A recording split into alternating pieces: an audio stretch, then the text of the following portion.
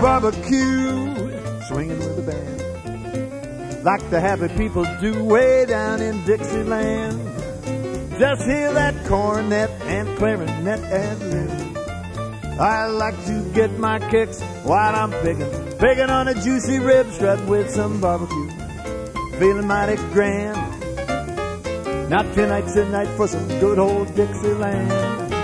Now, Mr. Waiter, if you please, Another rib or two, we'll go strutting with some barbecue.